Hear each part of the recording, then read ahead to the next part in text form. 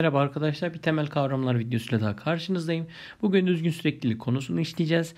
E, konunun başlangıcını şöyle söyleyeyim. Biz noktasal süreklilikte ne yapıyorduk? Bir nokta üzerinde fonksiyonun sürekli olup olmadığını inceliyorduk. Eğer ki tüm küme üzerindeki noktalarda e, bir delta ve epsilon ilişkisi kurabiliyorsak o noktalara bağlı olaraktan o fonksiyon o küme üzerinde süreklidir gibi diyor, biliyorduk. Ancak bu süreklilik kavramı bize yetmediği için düzgün süreklilik dediğimiz kavram ortaya atılmış. Kavramımız şöyle tanımlanıyor. Bir A kümemiz var. Arenin altından f fonksiyonunda A'dan Rm'e giden bir fonksiyon.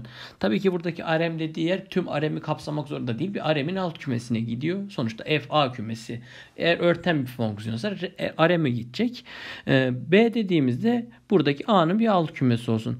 Eğer ki verilen her epsilon büyük sıfır için bir delta bulabiliyorsak ki bu delta sayınız sizin için epsilona, b kümesine ve f fonksiyonuna bağlı olmak üzere bir öncekinde ne vardı? Burada ekstradan x noktası, x sıfır noktası da vardı. Ama burada düzgün süreklilikte böyle bir şey yok. Sadece oradaki epsilona, b kümesinin kendisine ve e, epsilona bağlı bir şekilde değişecek. Buradan şöyle yine x eksi y'nin Aren normu yani x eksi y küçük delta olan her x virgül y eleman b için. Bu sefer bir nokta üzerinde değil kümenin içerisinden aldığım rastgele her iki nokta için bu koşulu sağlayanlara bakıyorum. E, fx eksi fy normu da e, fy'nin rm normu da epsilondan küçük oluyorsa f fonksiyonu b kümesi üzerinde düzgün süreklidir deniliyor. Yani diğerinden farklı olaraktan bizim diğerinde x dediğimiz değişkendi. Burada bir x sıfır noktası üzerinde bakıyorduk. Burası küçük delta iken neyi araştırıyorduk? fx eksi fx sıfırı araştırıyorduk. Burayı biz epsilona bağlayabiliyor muyduk? Tabii ki buradaki deltamız bizim x0 noktasına bağlı olabiliyordu. Epsilona, f fonksiyonuna ve buradaki b kümesine bağlı olarak değişiyordu. Ama burada şuradaki x0 noktasından bağımsız hale getirmeye çalışıyoruz. Böyle olunca bütün küme üzerinde düzgün süreklidir ismini alıyor. Zaten şöyle söyleyeyim burada hani nokta üzerinde değil küme üzerinde çalışıyoruz. Tekrar hatırlatma olarak. Ee, şimdi teoremlerimize geçersek şunu söylüyor. Sürekli bir fonksiyon kompakt bir küme üzerinde düzgün sürekli olur demek istiyor. Kompaktlığın bize yaradığı bir avantaj bu. Yani burada bir fonksiyon düzgün sürekli incelerken kümenin kompaktlığı sayesinde direkt düzgün süreklidir diyebileceğiz.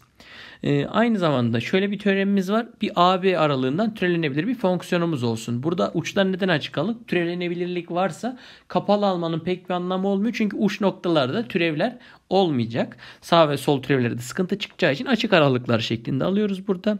Tabii ki buradaki A'nın gidebileceği en son yer eksi sonsuz. Burası da sonsuza kadar genişleyebilecek. Yani bunu bütün R'ye yayabileceğimiz bir fonksiyon olmak üzere bunun mutlak değerce küçük m olabilecek şekilde bir m büyük sıfır sayısı varsa buradaki f fonksiyonuna AB aralığında düzgün süreklidir diyebiliyoruz. Yani düzgün süreklilik için baktığımız bir şey de şu. Bir R'nin alt aralığından R'ye giden bir fonksiyonunuz var. Onun türevi eğer sınırlıysa buna da sınırlılık adını vereceğiz. Bir fonksiyonun eğer küçük olduğu bir sayı varsa o fonksiyona sınırlı diyoruz orada fonksiyonumuz bu aralık üzerinde düzgün sürekli oluyor teorem olarak da. Bir de Lipschitz koşulu var. Lipschitz koşulu da size şunu söylüyor. A dediğimiz yine R'nin bir kümesi. F oraya giden bir fonksiyon. Her x virgül y eleman A için fx eksi fy normu, rm normu l çarpı x eksi y şeklinde olacak şekilde bir l büyük sıfır sayısı varsa f fonksiyonuna Lipschitz koşulunu sağlar adını veriyoruz. Yani fonksiyonun görüntüsü buradaki noktaların farkıyla ilişkili olacak. Hani normca olarak bakarsanız. Ee, şunu söylüyor aynı zamanda teoremimiz bize eğer ki bir fonksiyonunuz Lipschitz koşulunu sağlıyorsa o A kümesi üzerinde düzgün süreklidir diyor. Peki bunu nasıl yapabiliriz? Şimdi rastgele x virgül y eleman A kümesi olarak alsak. E, şunu kabul etsek x eksi y küçük delta olsun. Tabii ki buradaki deltayı da sıfırdan büyük şekilde seçelim. Şimdi benim merak ettiğim şey ne? Buradaki fx eksi fy farkına bakmak. Bunun epsilona bağlayabilir miyim diye. Şimdi şunu da biliyorum. Buradaki fx eksi fy dediğim normda nereden küçük? Ee, burada bir l çarpı x eksi y olacak şekilde bir şeye sahibim. Ee, l sayısına sahibim. l büyük sıfır var. Şimdi Buradaki delta'yı da yerine yazdığım zaman burası neden küçük veya eşit olacak? Benim için bakarsam L çarpı delta'dan küçük. Çünkü x eksi y normu delta'dan küçüktü. Buraya delta koyduğum zaman burayı büyütürüm. E o zaman burayı da küçük eşit epsilon olarak seçersem ben sadece delta'ya bağlı olan bir epsilon bulabildim. Buradan f fonksiyonu düzgün süreklidir diyebileceğim. Yani direkt tanım üzerinden düzgün sürekliliği gösterebiliyoruz burada. Şimdi f ve g fonksiyonları a kümesi üzerinde düzgün sürekliyseler bunların toplamları ve farkı a üzerinde düzgün süreklidir. Ve ayrıca şu da var. E, bir fonksiyonu bir sayıyla çarptığınız zaman o hala düzgün sürekli olmaya devam eder. Mesela x fonksiyon fx eşittir x fonksiyonun düzgün sürekli olduğunu göstereceğiz. Sonra şundan her birini söyleyebiliriz. fx dediğimiz kx fonksiyonlarının her biri e, düzgün sürekli olacak. Çünkü buradaki teorem gereği bunu söyleyebileceğiz. E, aynı zamanda şimdi burada da sınırlılığı bahsetmiştim söz olarak ama bu da sınırlılığın tanımı. Yine bir fonksiyonumuz var. Eğer ki bu küme içerisindeki her nokta üzerinde normu küçük eşit m olacak şekilde bir m reel sayısı varsa pozitif f fonksiyonu a kümesinde sınırlı fonksiyondur veya sınırlıdır ismini alacak burada. E, teoremimiz de şunu diyor aynı zamanda f ve g fonksiyonlar a kümesi üzerinde düzgün sürekli ve sınırlıysa yani şunu demek istiyor. Buradaki fx'imizin küçük veya eşit olacak şekilde bir m1'i var.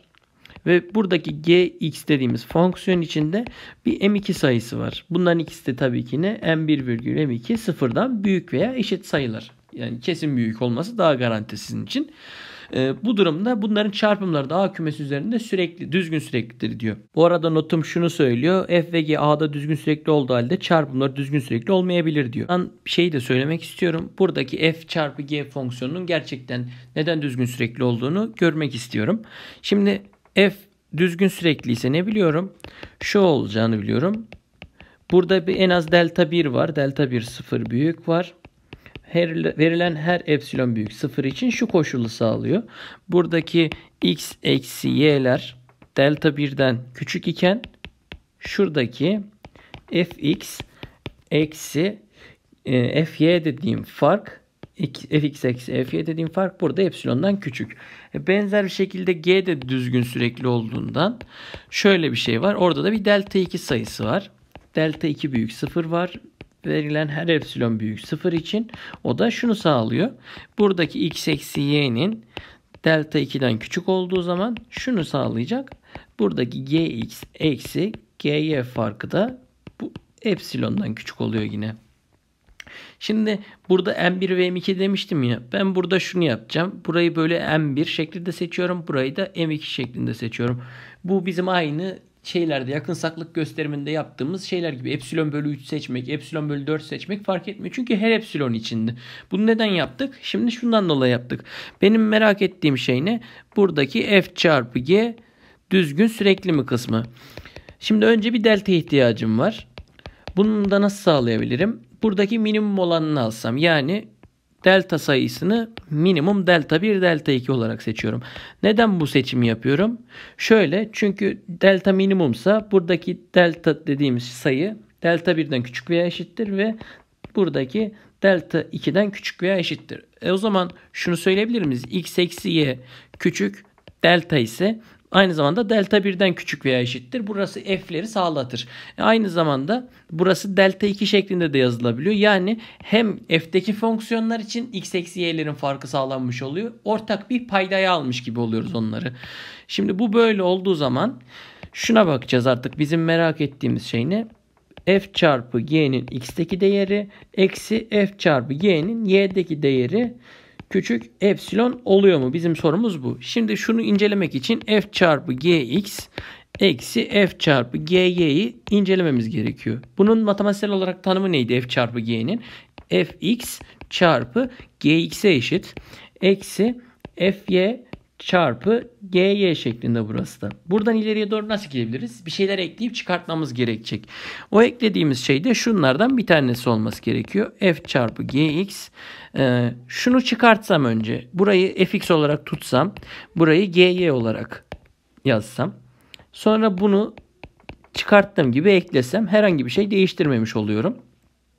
Sonra kendisinde olan terimi yazmış oldum. fy çarpı gy bunun yerine ne ekleyebilirdim? Burayı e, fy tutarabilirdim. Burayı gx yapabilirdim. Çok da bir fark olmaz. Aynı işi yapmaya çalışmış olurduk. Şimdi ortak paydaya baktığımız zaman her tarafta fx var. Yani bunların içerisinde. Burayı fx parantezine aldığınız zaman nasıl olacak? gx eksi gy şeklinde oldu değil mi burası? Tamam.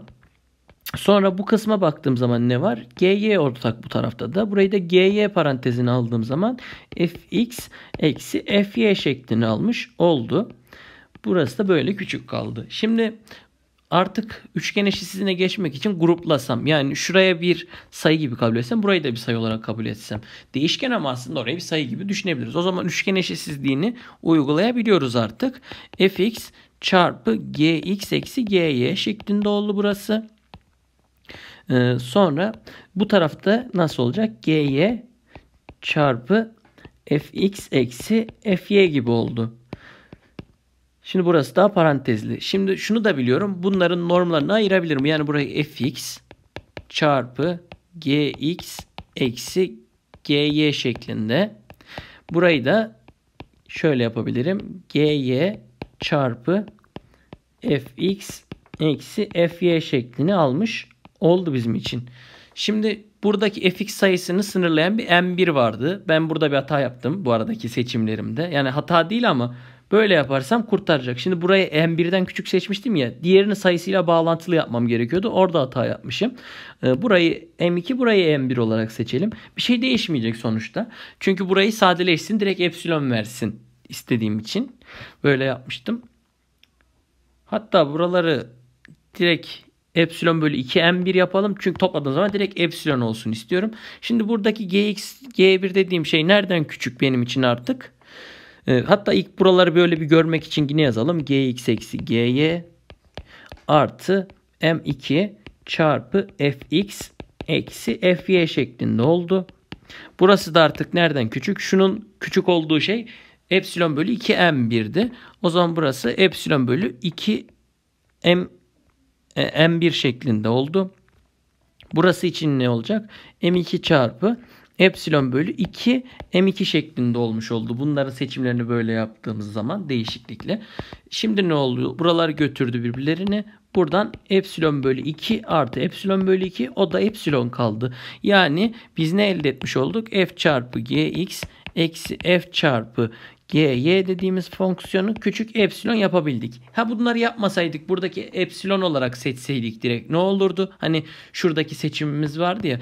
Bu sefer de tek bulacağımız şu olurdu. m1 çarpı epsilon artı m2 çarpı epsilon gibi olurdu. Burası da sizin için m1 artı m2 epsilon şeklinde olurdu. Yine bir epsilona bağlamış olduğunuz için yani sadece epsilon ve bir belirli sayıya bağlı olduğu için yine buranın düzgün sürekliliği çıkardı.